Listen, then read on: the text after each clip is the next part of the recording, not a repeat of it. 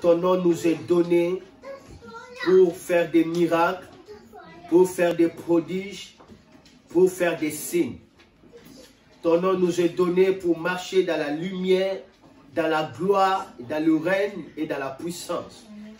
Je bénis ce message, sanctifie ce moment au nom de Jésus-Christ de Nazareth. J'ai ainsi prié. Amen, amen, amen, amen. C'est important, c'est important que le nom du Seigneur soit béni. Je suis en train de parler d'un thème très important sur la loyauté. C'est très important et je vais continuer. J'estime que ça, c'est un enseignement de valeur, un enseignement de qualité pour un peuple à qui Dieu va élever, pour un peuple à qui Dieu va utiliser. C'est un enseignement de qualité pour une personne qui veut marcher avec Dieu et marcher avec des principes. Il doit respecter ce genre de principes qui se trouvent dans cet enseignement, l'enseignement sur la loyauté. Comme j'avais dit, je n'ai jamais prêché ça, mais j'avais senti le besoin de la part du Saint-Esprit de prêcher sur ça et le Seigneur m'a aidé à prêcher, soit enseigner sur la loyauté. Alors, regardons directement pour euh, la première fois que Dieu parle euh, de forme de loyauté. Pourquoi je parle de la forme de loyauté? Parce que la loyauté se définit comme la fidélité à tenir parole, à faire honneur à ses engagements. Donc, nous voyons que la loyauté a la même racine que le mot fidélité.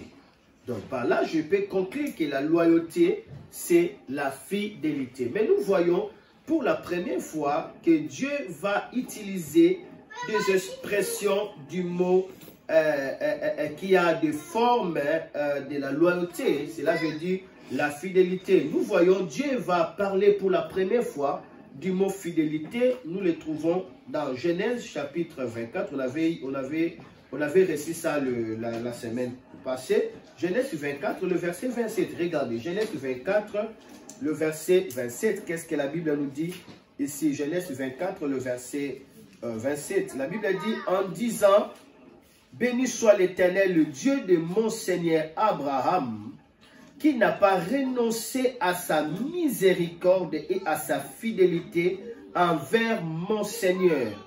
Moi-même, l'Éternel m'a conduit à la maison des frères de mon Seigneur. Il n'a pas renoncé à sa miséricorde et à sa fidélité envers mon Seigneur. Il n'a pas renoncé à sa miséricorde et à sa fidélité. Dieu ne renonce pas à sa miséricorde et à sa loyauté. Dieu est très loyal. Parmi le critère de Dieu, le critère de base de Dieu, que Dieu lui-même a déclaré, il a dit, il a peur qu'on ne puisse pas trouver ces critères-là en lui, c'est la loyauté.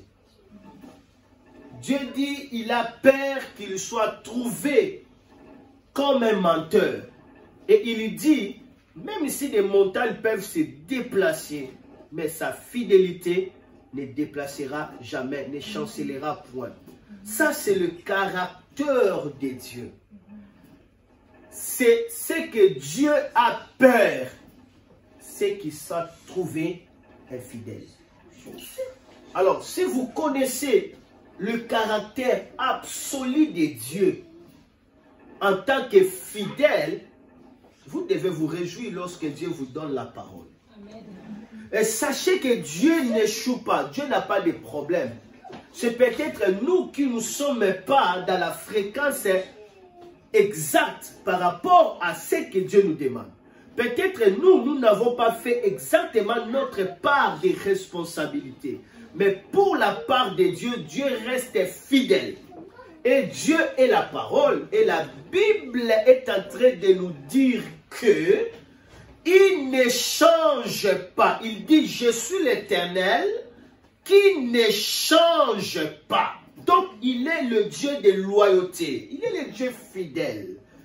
S'il dit que tu es élevé, sachez que avant de dire ça, il a pesé tous les paramètres. Il a regardé de partout et il, il a vu ton cœur, il a vu ta faiblesse, il a vu ta force, il a vu tout de toi. Après, il te dit, Donc, la parole de Dieu révèle le caractère de son cœur. Il est fidèle. Il ne change pas.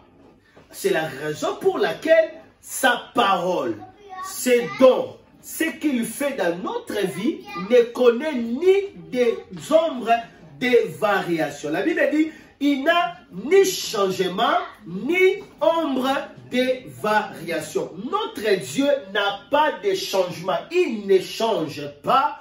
Il n'a pas d'ombre de variation. Il peut dire, non, non, non, non, je me suis trompé de dire ça, c'est pourquoi j'ai changé. Non, les hommes changent, c'est normal.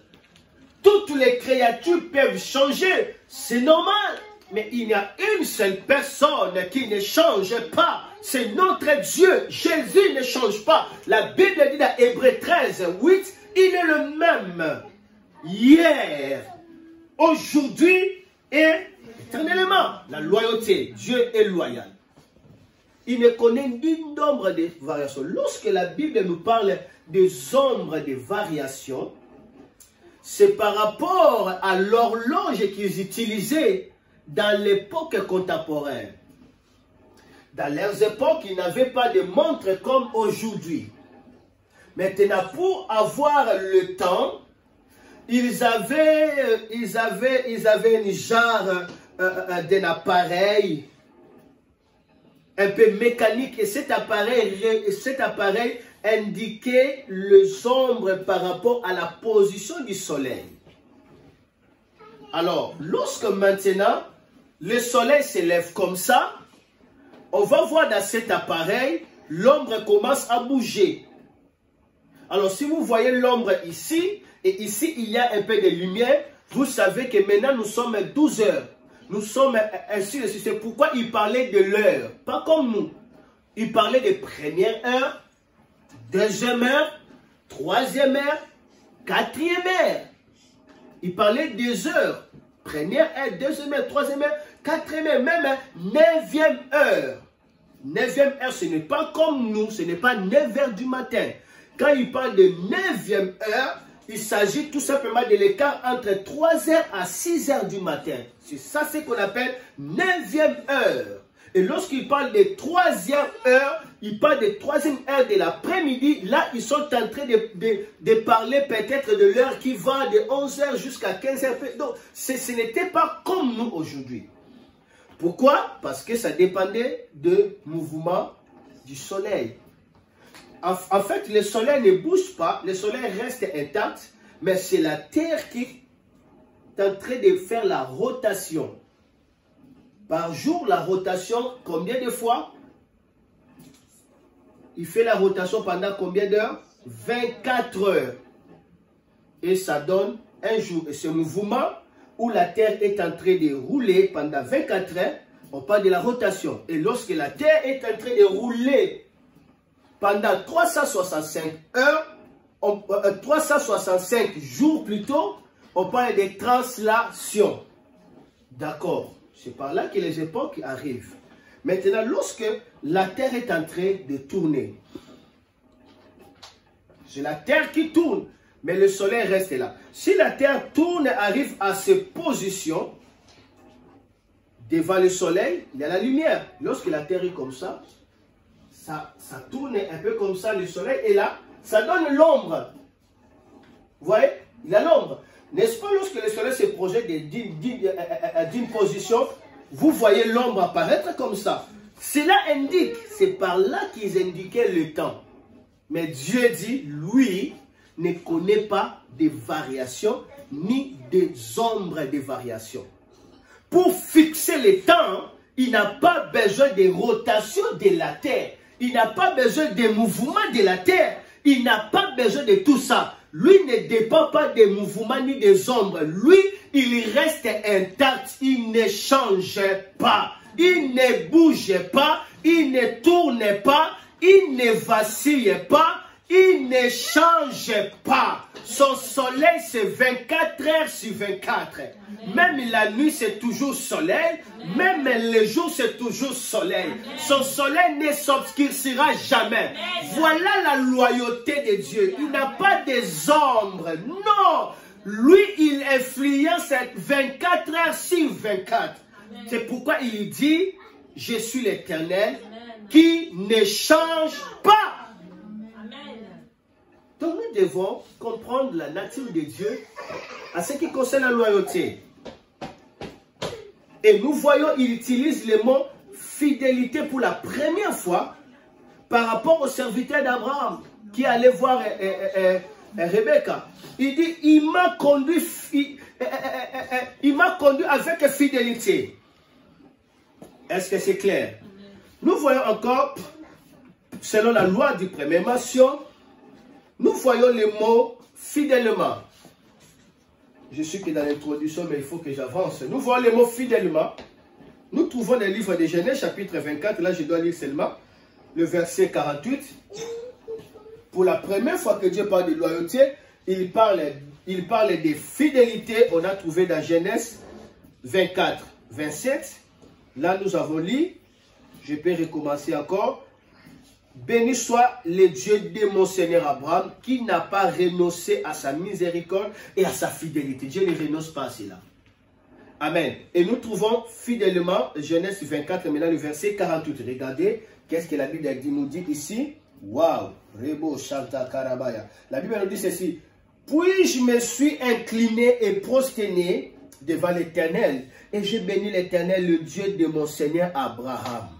Qui m'a conduit fidèlement afin que je prise la fille du frère de mon Seigneur pour son fils. Le Dieu d'Abraham m'a conduit fidèlement. Voilà la loyauté.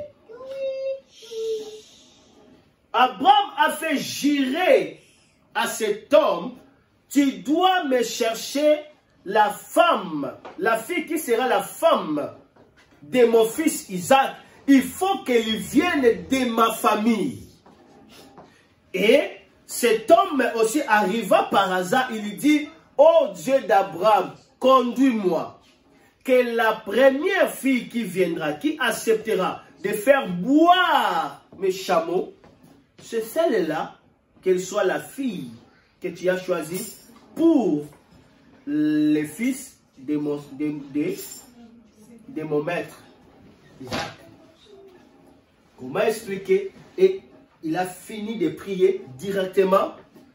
Rebecca aussi arrive. Et Rebecca commence aussi à faire boire ses chameaux. Elle s'est oubliée d'abord elle-même, elle est une femme, une fille, jeune fille. Elle commence à faire boire les chameaux pour cet homme qui ne connaît même pas. Comment expliquer entre Rebecca et cet homme qui va rendre service à l'autre? C'est l'homme. Normalement, Rebecca peut simplement lui donner le truc pour puiser l'eau. Et puis l'homme commence à puiser l'eau. Mais c'est elle qui fait. Pourquoi? La loyauté commence à conduire Rebecca. Oui, la loyauté de Dieu te conduira là où Dieu veut que tu sois. La loyauté de Dieu t'amènera dans les niveaux que Dieu a destinés pour toi. La loyauté de Dieu t'amènera. Mais attention, la loyauté de Dieu t'amènera si toi aussi tu es loyal. Les choses de même valeur doivent marcher ensemble. C'est la loi de correspondance. C'est la loi de correspondance. Cet homme a manifesté la fidélité. Il a prié et la fidélité commence aussi à se révéler à lui. Exactement comme Abraham désirait, fidèlement. On voit que toujours dans la vie d'Abraham qu'on parle de la loyauté. Et par là, ici, j'avais imprimé quelques points importants le dimanche passé pour dire que si tu es loyal vis-à-vis -vis de l'homme de Dieu, tu accéderas dans sa famille spirituelle tu accéderas dans le corps angélique qui l'accompagne. Parce que cet homme était loyal, il était fidèle parmi tous les serviteurs d'Abraham. Cet homme était fidèle. Alors l'ange qui accompagnait Abraham commence aussi à accompagner cet homme. Ta loyauté fera assez que tu commences à baigner dans le même aura spirituel que ton père spirituel. Si je suis en train de parler de ce thème, c'est pour t'amener à naviguer dans la même école spirituelle que moi. C'est pour t'amener à entrer dans le même sphère que moi. Que tu commences aussi à expérimenter, mon Dieu. Tu ne peux jamais entrer dans le même sphère que moi si tu n'es pas loyal. Amen. Amen. Et pour la première fois que Dieu parle de la loyauté, il a parlé de fidélité, il a parlé de fidèlement. Il m'a conduit fidèlement. Que Dieu te conduise fidèlement. Que des circonstances t'arrivent à te conduire fidèlement dans la fidélité de Dieu. Que tu iras contre la fidélité de Dieu. Et nous voyons ici le troisième élément, c'est fidèle. Là, c'est Nombre chapitre 12, le verset. Nombre chapitre 12, le verset 7. Nombre 12, le verset 7. J'essaie un peu de, faire le rappel de ce qu'on avait vu, parce que le, message a été coupé, et c'est mieux d'ailleurs de répéter. Nombre 12 ou 7. La Bible dit, il n'en est pas ainsi de mon serviteur Moïse, il est fidèle dans toute ma maison. La maison de qui? D'Abraham. La maison de qui? La maison de Dieu. Dieu dit ceci. D'accord? Ok. Commencez d'abord le verset, euh, le verset, euh, commencez le verset 4 pour comprendre l'histoire. D'accord? Et l'Éternel entendit, or Moïse était un homme fort patient, plus qu'aucun homme sur la face de la terre. Soudain l'Éternel dit à Moïse, à Aaron et à Marie, allez vous trois à la tente d'assignation. Et ils y allèrent tous les trois. L'Éternel descendit dans la colonne de nuée. Il s'était à l'entrée de la tente. Il appela Aaron et Marie qui s'avancèrent tous les deux. Et il dit, écoutez bien mes paroles. Ils étaient tous trois dans la tente d'assignation. Dieu appelle Aaron et, et Marie. Il lui dit, écoutez bien mes paroles. Lorsqu'il y aura parmi vous un prophète, c'est dans une vision que moi, l'Éternel, je me révélerai à lui. C'est dans un songe que je lui parlerai. Il n'en est pas ainsi de mon serviteur Moïse. Il est fidèle dans toute ma maison. Waouh! Donc la fidélité, la loyauté dans ta vie va te démarquer, va te distinguer. Ils étaient tous des frères. D'accord. Moïse vient d'épouser une femme éthiopienne. Et maintenant, Myriam était contre cet acte. Il influença Aaron. Et Aaron et Myriam, ce sont des frères, des grands frères. De qui? De Moïse. Ils appellent Moïse pour dire, ce que tu fais n'est pas bien. Ils commencent à critiquer Moïse, non à l'aider, à le conseiller, mais à le critiquer. Il dit, Myriam, il dit, moi aussi j'écoute Dieu. Pourquoi? Parce que Myriam était prophétesse. Il dit, moi aussi j'écoute Dieu. Dieu nous a dit, on ne peut jamais épouser une étrangère. Moi aussi j'écoute Dieu. Si tu devais épouser une étrangère, mais Dieu allait aussi me le dire, ah, Dieu a corrigé cette erreur-là. Bien que Moïse, ce que Moïse avait fait n'était pas bien. Mais parce que ils ont voulu toucher au domaine que eux ne peuvent pas entrer, Dieu agit. Dieu agit. Les déloyaux aiment voir les erreurs de leur père spirituel. C'est la malédiction. Les déloyaux aiment faire ce qu'on appelle les commérages. Si vous êtes des commérages, vous êtes en train de vous maudire. Pour rien. Au lieu simplement de prier pour lui, de chercher la sagesse et l'humilité pour les amener dans les chemins. Mais lorsque vous commencez à faire des commérages, parler derrière son dos, vous êtes en train de tirer la lèpre. Voilà pourquoi Dieu n'était pas content. Dieu appela tous les trois. Moïse ne savait même pas qu'on les critiquait. Moïse ne savait pas. C'était Aaron et Miriam qui se parlaient entre eux. Mais qu'est-ce qui a fait que Dieu puisse les juger? Et Dieu a défendu Moïse devant eux. La réponse Dieu a dit quoi? Dans toute la maison. Dans toute ma maison. Cela veut dire toute l'assemblée d'Israël. C'est la maison de Dieu. il n'y a aucun homme qui est fidèle comme Moïse. Donc la loyauté. À cause de la loyauté, Dieu te défend. Si tu es loyal, Dieu ne permettra pas qu'on te touche. Si tu es loyal, Dieu ne permettra pas qu'on te touche. La loyauté.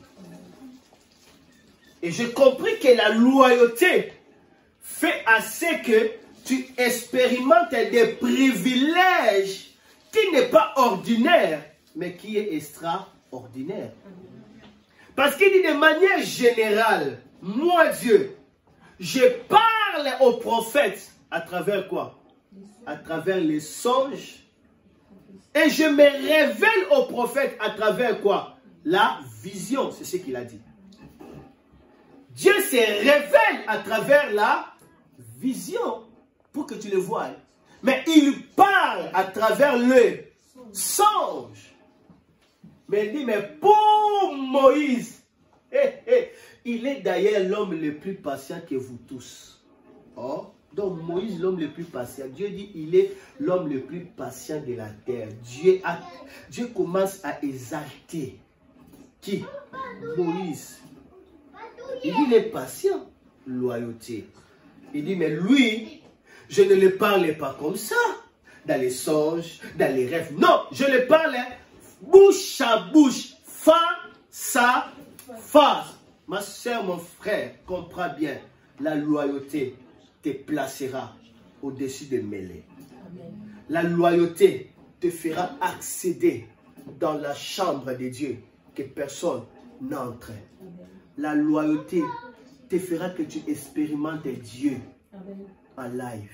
La loyauté, ça paye. Je n'ai pas encore touché les avantages de la loyauté. Je n'ai pas encore touché les sortes de la loyauté. Jusque-là, je suis en train seulement de rouler comme ça. Je suis que dans les... Je n'ai même pas touché. Je crois qu'on touchera dans d'autres séances. Mais je vous dis, la loyauté paye. La loyauté, Dieu. Dieu est attaché, attiré, concerné au loyal. Les hommes loyaux ou les hommes loyaux. Hmm ils attirent l'attention de Dieu rapidement et Dieu les défend. Dieu défend leurs honneurs. Dieu défend leurs causes. La loyauté fera que Dieu puisse te défendre. La loyauté ne veut pas dire que tu ne puisses pas avoir des faiblesses.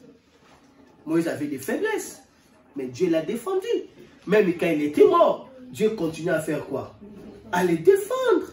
À les défendre. À cause de quoi? Loyauté. Alléluia. Loyauté.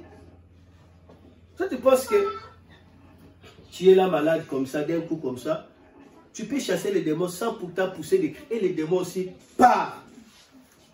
C'est facile. Mais ça, c'est la loyauté. Mais parce que lorsque nous, lorsque nous donnons des témoignages, souvent, les, souvent nous pensons que bon, c'est c'est simple, hein? mais alors que passer maintenant à cet état, vous allez voir que ça c'est la grâce de Dieu, c'est la loyauté. La loyauté doit nous payer. Amen. Amen. La loyauté te payera. Alors il faut retenir que la loyauté en grec, ça vient du, euh, disons, euh, la fidélité, la fidélité en grec, maîtriser les enfants. La fidélité en grec, ça vient du mot pistis, qui signifie sûr et loyal. Fidélité en grec, ça vient des pistis, qui signifie sûr et loyal. Donc, quelqu'un qui est fidèle, c'est quelqu'un qui est sûr et loyal. C'est-à-dire une personne à qui on peut faire confiance. C'est une personne sûre, c'est une personne loyale. C'est cela la personne qu'on appelle fidèle en grec. Pistis, cela veut dire sûr et loyal. Donc, un loyal, c'est une personne sûre, c'est une personne stable, c'est une personne constante à qui on peut faire confiance. Il ne peut pas trahir, il ne peut pas vaciller ça et là. Son oui reste oui, son non reste non, il n'est pas comme un caméléon. C'est celui-là, l'homme, qu'on appelle loyal. Et parmi le fruit de l'esprit, il y a la confiance qui est euh, euh, parmi les manifestations des fruits de l'esprit. Cela veut dire quelqu'un à qui on peut faire foi, on peut faire confiance. C'est-à-dire, on te fait confiance. Ça, c'est un signe que vous avez la loyauté dont vous êtes loyal.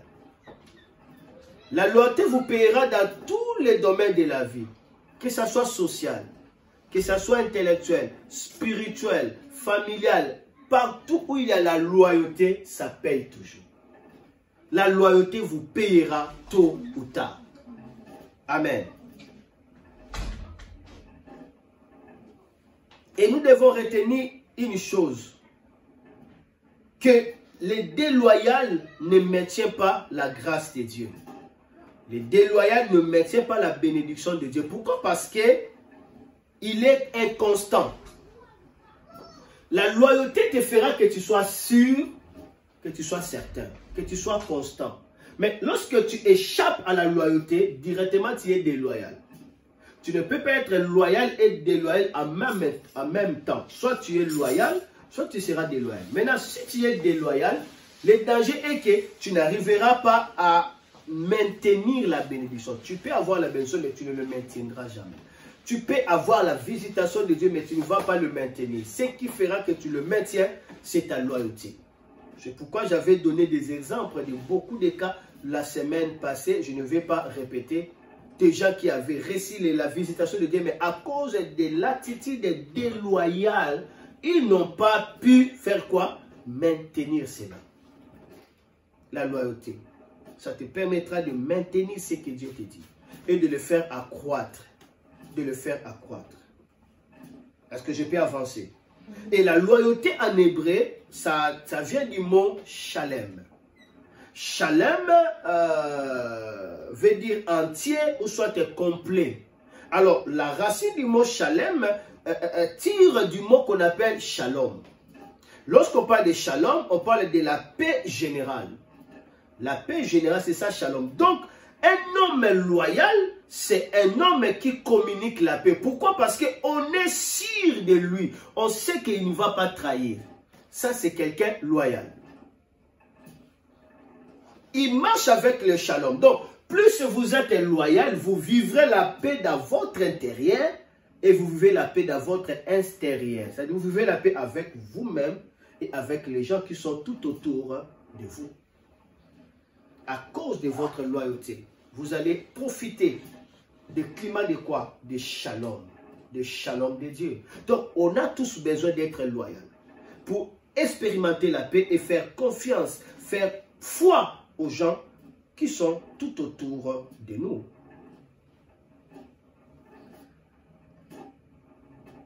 Lorsque quelqu'un est à côté d'un homme loyal, il sent à lui le climat de la paix qui le poussera à lui ouvrir le, cœur et à lui dire toute la vérité. Parce qu'il sait que cet homme ne pourra pas me trahir.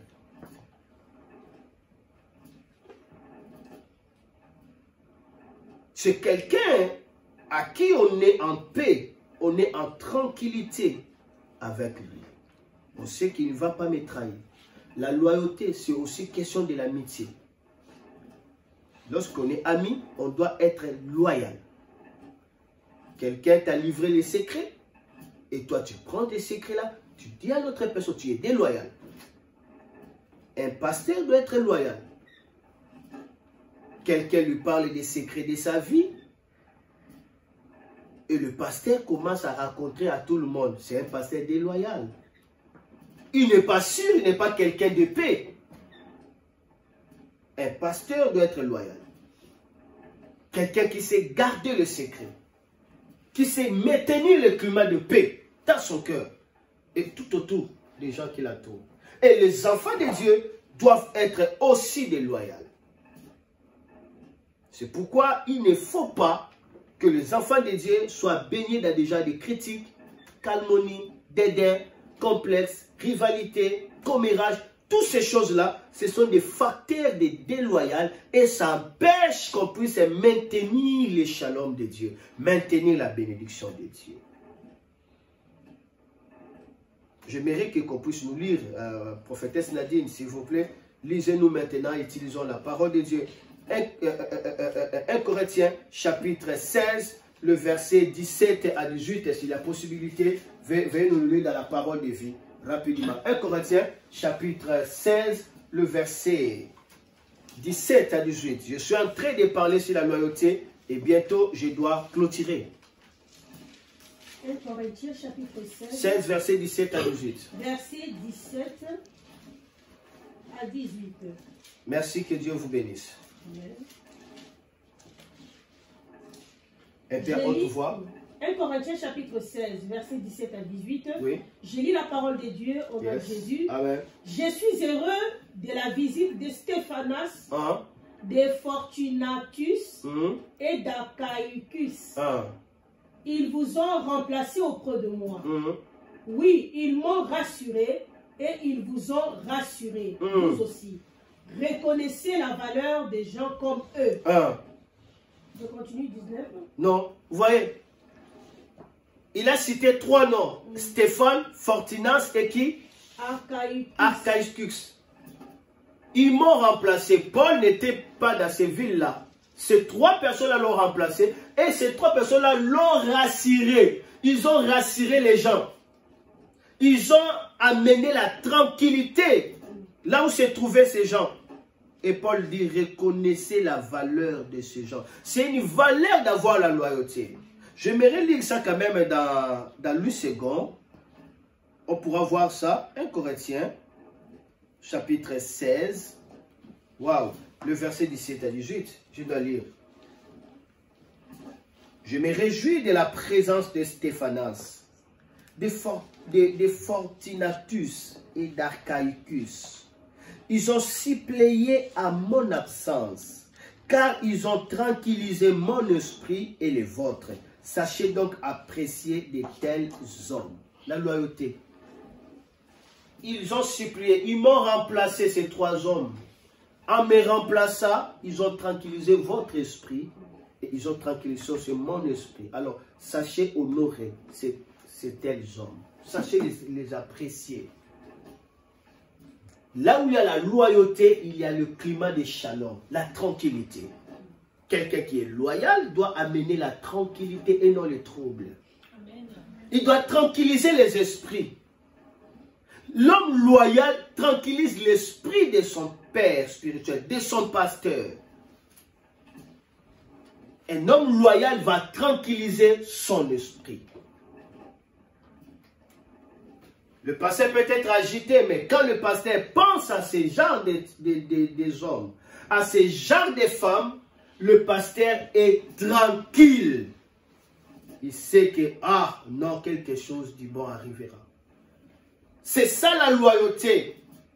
C'est l'action par laquelle on te donne la clé. Et on te dit, prends la clé de la maison. Et la personne part en toute tranquillité. Parce qu'il sait que tu es sûr, tu es loyal. On te donne la clé, on te laisse la maison la personne part. Et la personne est en paix, la personne n'est pas agitée. C'est ça ce qu'on appelle la loyauté. Est-ce qu'on peut te faire confiance? La loyauté. L'apôtre Paul dit, sachez donc apprécier de tels hommes. Dans mon absence, ils ont tranquillisé mon esprit. Et ils ont aussi tranquillisé vos esprits alors ces hommes méritent d'être appréciés, d'être honorés. La loyauté assure l'honneur. Vous ne pouvez pas être loyal avec Dieu et mourir dans la honte. Je dis non, je ne change pas ça. J'ai commencé à dire ça. À dire ça il y a de cela 20 ans. Je continue à dire ça. Personne ne peut servir l'éternel avec loyauté et mourir dans la honte. Non, je l'ai dit ça. Et je continuerai à dire ça. Amen. Parce que c'est la parole de Dieu. Parce que Dieu ne change jamais. Je l'ai dit ça. Je disais ça, je n'avais pas l'argent dans le compte à banque. Je disais. Cela ne dépend pas de ce que j'ai. Mais ça dépend de la loyauté de Dieu. Alors, quelqu'un ne peut pas servir l'éternel avec loyauté et mourir pauvre, jamais. Mourir humilié, jamais, à, moins que lui-même aime ça, à moins que, lui-même ne sache pas les fréquences des principes de Dieu sur la, sur la richesse du royaume. Ma soeur, mon frère, la loyauté. La loyauté paye. Amen. La loyauté paye. Amen. Moi, je n'ai pas travaillé depuis 2019. Je n'ai pas travaillé. J'ai cherché du travail, je n'ai pas trouvé. Ici à Albi, je n'ai pas travaillé depuis 2019. Mais, est-ce que l'église me paye? Mais non. Est-ce que je prends même vos dîmes? Mais non. Mais, je m'habille comme un prince. Mais oui, je vous dis la vérité. Je ne prends pas aussi l'argent, euh, euh, euh, soit de ma femme, ou soit de l'argent de contribution qu'on donne. Je ne prends pas. Pour être encore une charge. Non. Mais comment est-ce que je m'habille? Comment? Comment? N'est-ce pas, c'est Dieu? Ça, c'est le miracle. C'est juste un miracle, parce que c'est le miracle. Le miracle vient pour t'aider pendant les difficultés. Dès que tu entres dans les moments de la moisson, le moment où tu travailles, il y a l'abondance, le miracle cesse. Parce que là, tu commences à fournir toi-même. Mais maintenant, c'est Dieu qui est tenté de nous, de nous habiller. Ma femme, elle, elle ne travaille pas. Elle, elle, ne travaille pas. Amen. Elle est là. Elle a, elle a au moins cinq valises plein des habits. Plein des habits. Donc, ça pose même problème pour, pour être déplacé. Juste les habits. Elle donne. Elle va donner. Et ce sont de beaux vêtements. On n'a jamais fait attention à cela, mais le matin, le Seigneur m'a parlé de cela. Le matin, le Seigneur m'a parlé. Est-ce que tu sais que moi, je t'habille? J'avais dit que ne vous inquiétez de rien. J'habille des fleurs. Est-ce que tu sais que non, moi, je t'habille?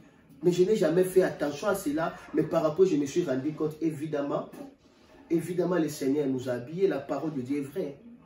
Il nous a habillés. Il nous a habillés. Je vous dis la vérité qui nous a habillés.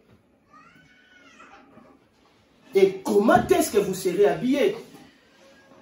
Ce serait ce qu'on appelle la faveur de quoi? La faveur de Dieu. Donc vous n'allez pas comprendre ça. Mais c'est de la faveur de Dieu, tout simplement.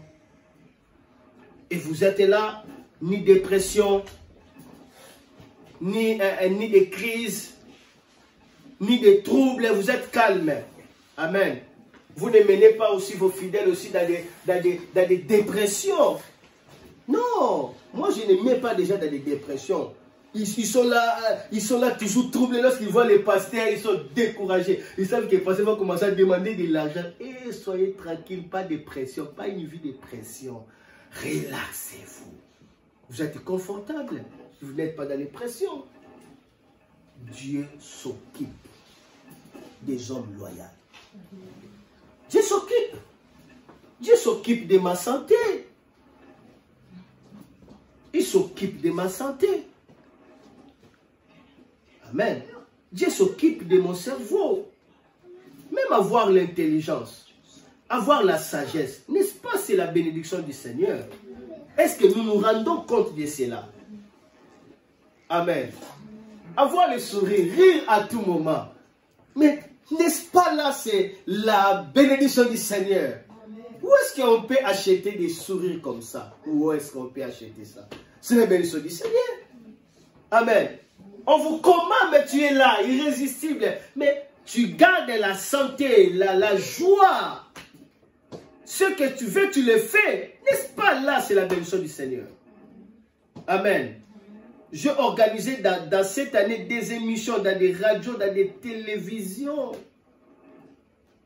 Des missions, lorsque je calcule, ça va au-delà de 2000, 2000 euros de là.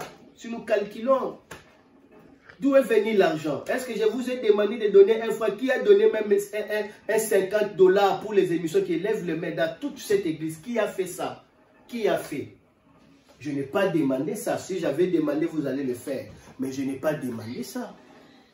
Mais j'ai fait pour dire tout simplement la loyauté paye. Dieu va t'ouvrir des portes que toi-même tu ne te rends pas compte. Mais si tu n'es pas aussi toi-même conscient de, cela, tu pourras penser que non, c'est euh, euh, normal, alors que non, c'est la main de Dieu. Dieu est en train de te montrer sa main sur toi. Sa main sur toi. Amen. Reconnais la main de Dieu dans des petites choses. C'est un signe de la loyauté aussi. Amen. Si ton esprit est tranquillisé, mais c'est un signe de quoi? De la loyauté. Soyez loyal et entourez-vous entourez -vous des hommes loyaux. Lisez-nous encore, lis second s'il vous plaît, s'il te plaît, ma chérie. Lis 1 Corinthiens, oui, lis second. 1 Corinthiens 16, 15 à 16. Qu'est-ce que la Bible nous dit? 1 Corinthiens 16. Oui, 15 à 16. On va comprendre que la loyauté obligera le respect. 1 Corinthiens chapitre 16, verset 15 à 16. Ouais. J'ai lu la parole de Jésus. Oh. Encore une recommandation que je vous adresse. Ah. Vous savez, euh, vous savez que la famille de Stéphanas est le prémisse de l'Archaïe Hmm. et qu'elle s'est dévouée au service de saints. Ayez-vous aussi de la déférence pour de tels hommes et pour tous ceux qui travaillent à la même œuvre? Ayez-vous aussi de la déférence? Déférence, cela veut dire double honneur pour de tels hommes. Il parle de la famille de Stéphanas. Loyauté obligera la déférence, obligera de l'honneur. Ma soeur, mon frère, tu auras de l'honneur. Amen. Tu ne peux pas venir servir le Seigneur dans sa présence et manquer l'honneur. Jamais. Amen. Tu dois le savoir pour que l'ennemi ne puisse pas te le voler. Tu auras de l'honneur. David dit, je, je suis né, je suis grandi, je n'ai jamais vu un juste abandonné, ni sa postérité mendiant. La Bible dit, honorez donc ces hommes. Regardez avec moi 2 Corinthiens 7 et 13. 2 Corinthiens, 7 et 13, oui. 2 Corinthiens chapitre 7. Le miracle cherche celui qui tranquillise l'esprit de l'homme de Dieu. Lorsque vous tranquillisez l'homme de Dieu, vous verrez le miracle couler dans votre direction. Or, le fait de tranquilliser l'homme de Dieu, c'est le fait d'avoir la loyauté. La loyauté tranquillise. Lisez-nous. Et pour nous terminons, merci à notre euh, caméraman, que Dieu te bénisse. Attention là. 2 Corinthiens chapitre euh, 7, Ok. verset euh, 13. 13. J'ai lu la parole de Dieu au nom de Jésus. C'est pourquoi nous avons été consolés. Mhm. Mais outre notre consolation, nous avons été réjouis beaucoup plus encore par la joie des titres Un. dont l'esprit a été tranquillisé par vous tous. Waouh! Tite a tranquillisé les esprits de tout le monde. Et tout le monde était dans la joie. Là où il y a des loyaux, des loyaux, nos esprits se tranquillisent. Et tout le monde se retrouve dans la joie. Amen. Alléluia. Nous voyons Élisée. Cette femme a tranquillisé son esprit. Il dit, l'homme qui passe comme ça, chaque samedi, n'est-elle pas un homme de Dieu? Alors, parce qu'il descend toujours dans notre ville, construisons pour cet homme une maison. Quand il viendra dans notre ville, qu'il dorme. La femme sunamite a dit à son mari, son mari dit, ok, c'est une bonne chose, faisons. Ils ont construit la chambre haute, ils ont mis les lits, ils ont mis aussi les chandeliers, la lumière. Lorsque l'homme de Dieu arrive, il dit, Baba, Baba, l'homme de Dieu, on a pensé à vous de vous construire cette maison. Lorsque vous arrivez ici, ne vous tourmentez pas, c'est ici que vous commencerez à dormir. Élisée entra, il voit les lits. Il dit, eh Il voit aussi la lumière, il voit aussi la table. La Bible précise, il avait les lits, il avait la lumière, il avait aussi la table. Il dit, mettez aussi la table. Ça doit être complet. Il doit manger, il doit écrire. Complet.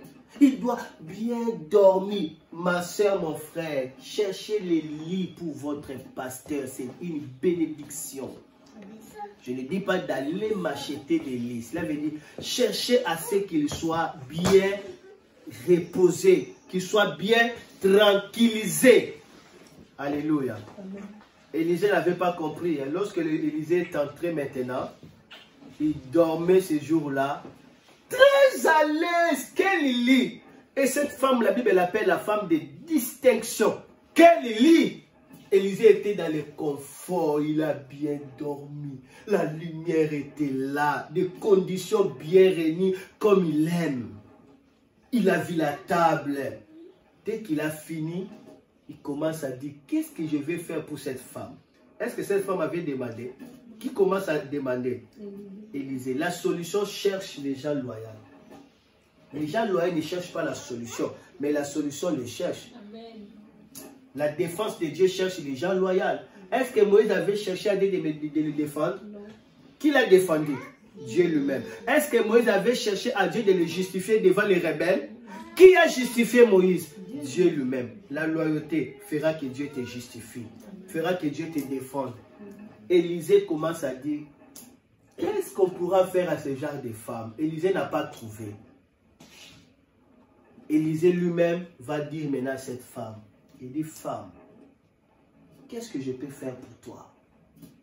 Est-ce que tu veux que je vois que tu fais des affaires?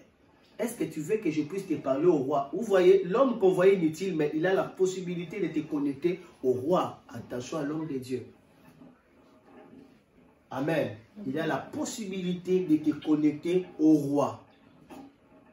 Mais on le voyait marcher comme ça. Mais il a des clés, il peut te connecter au trône il peut te connecter à l'élévation, il peut te connecter à... Il peut changer ta vie, il peut enlever la malédiction et vous commencez à sourire. L'homme de Dieu a, a béni. Il dit, est-ce que je peux te connecter au roi d'Israël? La femme sur la te dit, le roi d'Israël est mon ami ne vous inquiétez pas l'homme de Dieu, je voulais juste que tu sois heureux, c'est tout. Que tu dormes, c'est tout. Ce n'est rien, ce n'est rien. Vous voyez, la loyauté, même si tu le fais comme ça, tu oublies. Mais la loyauté marque toujours les hommes de Dieu. Ça, ça leur marque. Vous devez être marqué dans leur cœur. C'est-à-dire, la personne il dort, mais les noms là commencent, ça, ça reste dans son cœur. Ça reste dans son cœur. Il ne peut pas s'en penser parce qu'il a été vraiment marqué. Non, il peut toujours dire, Seigneur, fais quelque chose, et Dieu répond rapidement, rapidement, parce que la loyauté oblige l'attraction des dieux. Oblige l'attraction des dieux. Alléluia. Élisée n'était pas content, il dit, non, je dois faire quelque chose pour cette femme. Élisée maintenant allait dire à, son serviteur Géasi, Géasi, qu'est-ce qu'on peut faire à cette femme? Géasi dit, mon Seigneur, j'ai remarqué que depuis que nous venons ici, encore Géasi était un homme d'intérêt. Un homme là qui voulait connaître tout. Géasi ne joue pas. Géasi ne joue pas. Géasi dit, ça c'est mes affaires. J'ai regardé de partout. Hmm. Il n'y a pas d'enfant dans cette maison. Élisée dit, ah bon, c'est comme ça. Ok, merci Géasi. Élisée maintenant dit à cette femme, il n'a même pas demandé, il dit à cette femme, femme, écoute-moi. Moi, j'aime des temps pareils comme ça. Lorsque je mets les serments, c'est fini. C'est fini. Parce qu'on les sent. Tu sens que ça descend. Quand tu dis, ça arrive. Femme, écoute-moi. Dans cette même période, l'année prochaine, tu auras un enfant ça l'a touché. Écoute la femme. Mon Seigneur, je ne t'ai jamais demandé des enfants parce que ça m'a blessé. Je l'ai cherché, je n'ai jamais trouvé. S'il te plaît, ne trompe pas ta servante. Parce que tu l'as déjà créé une promesse, n'est-ce pas? Dis là, je commencerai à me soucier. S'il te plaît, ne me trompe. Hein? Que ça soit vérité. Élisée n'a pas répondu, c'est tout.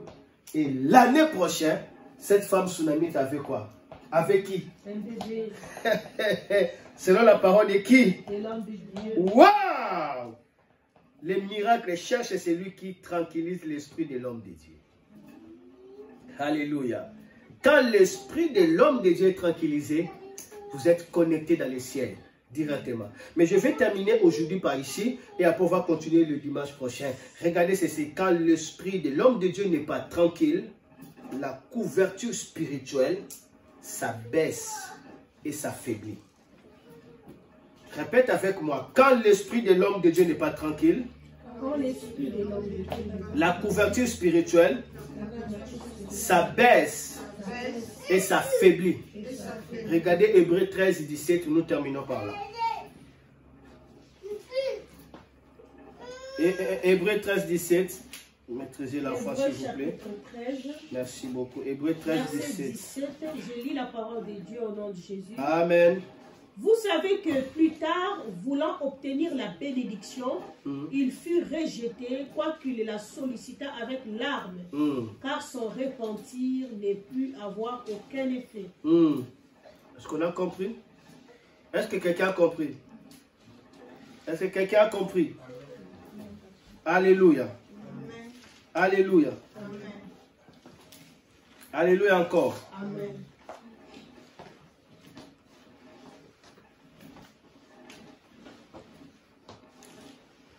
Maintenant, lisez Hébreu 13, 17. Hébreu chapitre, c'est là où je viens de lire. Hébreu chapitre 13, verset 17 mais. 17. Ah, Vous savez que non, plus tard, c'est pas ça.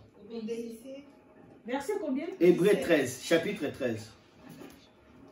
Et c'est là où je suis.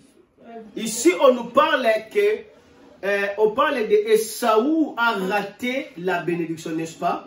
Malgré son repenti, mais il resta toujours dans l'amertume. Pourquoi? Parce que Esaü ne tranquillisait pas le cœur. 17.